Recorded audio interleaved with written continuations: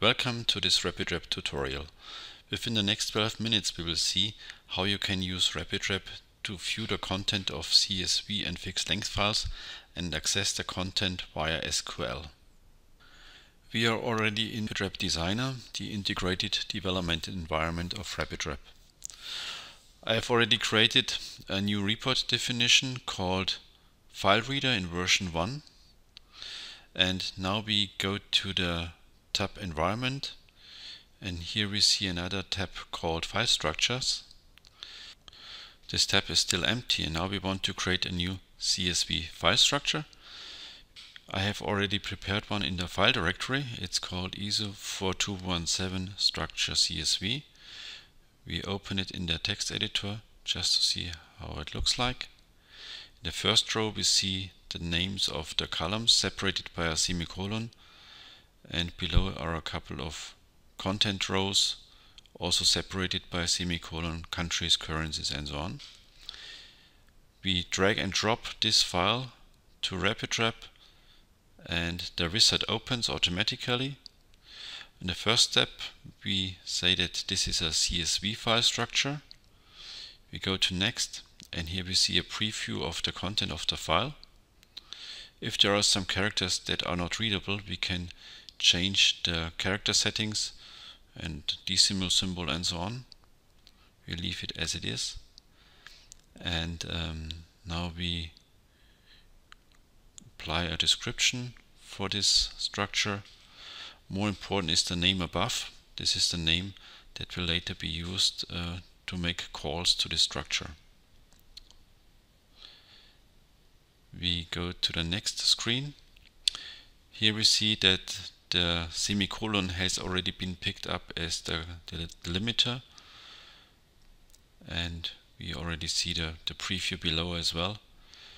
Um, but we know that the first row contains the header columns. So we check this checkbox and now it already looks much better. In the next screen we can make changes to the alias names and to other settings of the columns. First we want to change the alias name for the first column. We don't want to call it entity but country and the column called alphabetic code we would like to change as well. We want to say that we want to access this column later on with SQL by using CCY. We apply a small description. And just in case the content does not fit into these three characters we want to see three times the X letter just to see it very quickly that there was something wrong. Below we see already the preview. It looks very nice now.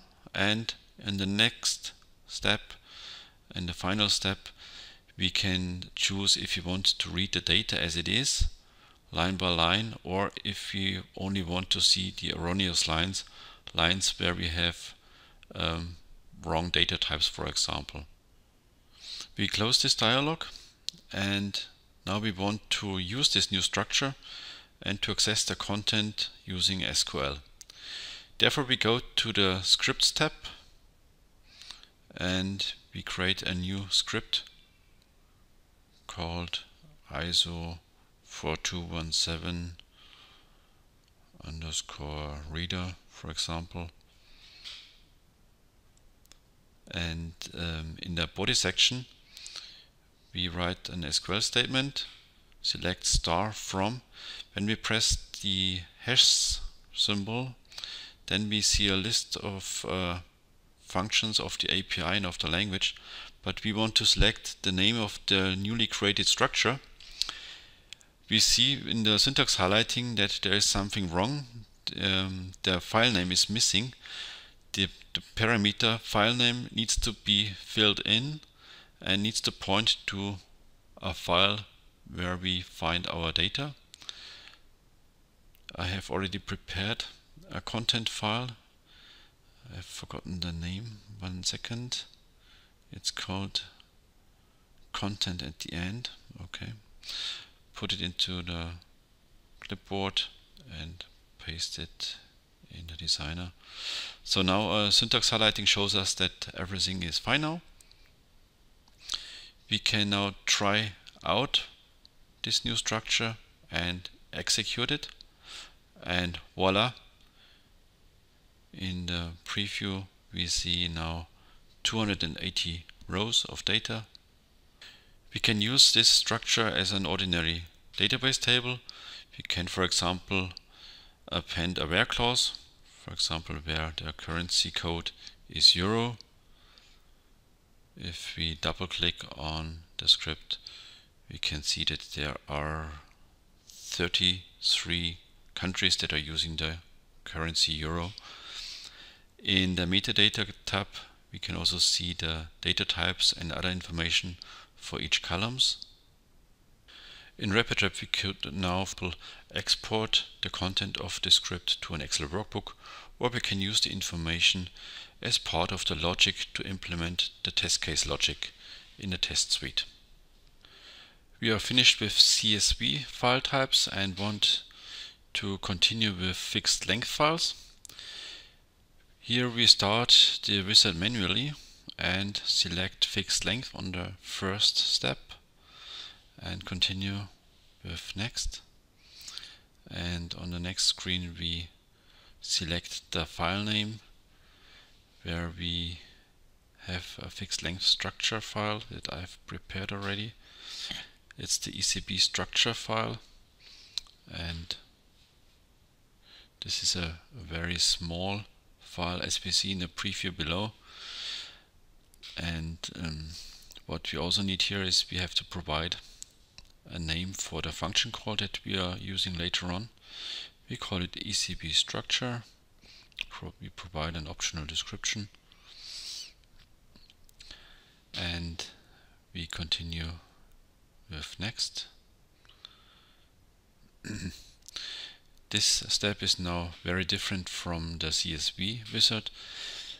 We see a ruler at the top and now we go to the corresponding characters and when we press the left mouse button then we create a column at the corresponding position.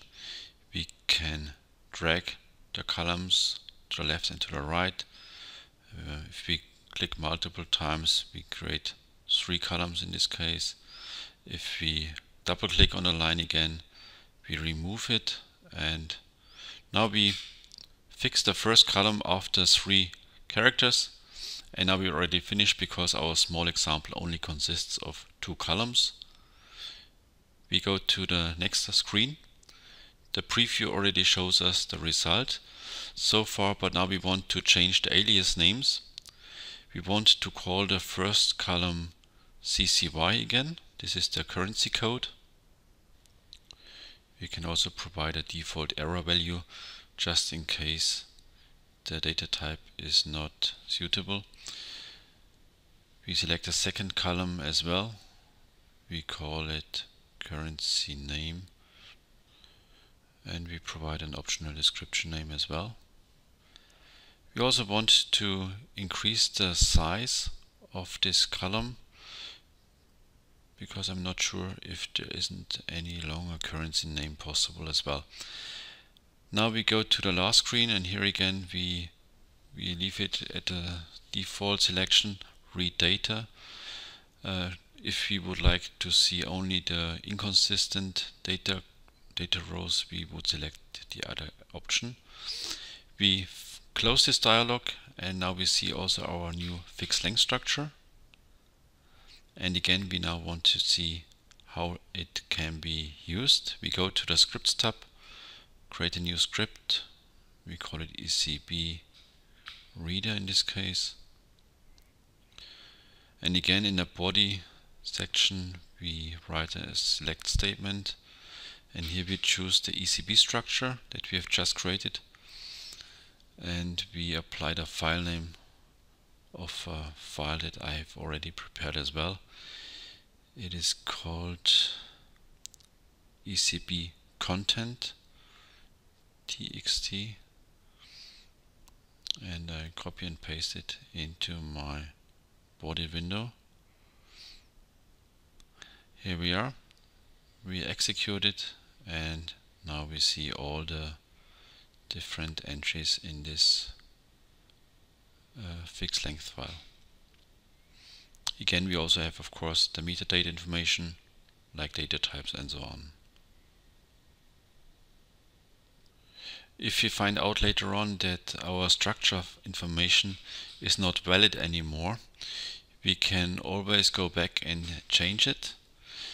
We switch to the environment tab again and in the file structures we select for example our CSV structure and we open the context menu and select edit and if we go through the different steps we also see that the changes that we have done previously are still there so we could make any changes that we want to do and they are saved then for later usage. So now we are at the end of this video tutorial. We have seen how to specify CSV and fixed length structures and how to access the content later on via SQL. If you need further information regarding the RapidRep Designer, please have a look at the reference manual that you can reach via the help menu or have a look at further video tutorials on this channel. I hope you have a lot of fun using the RapidRep Designer.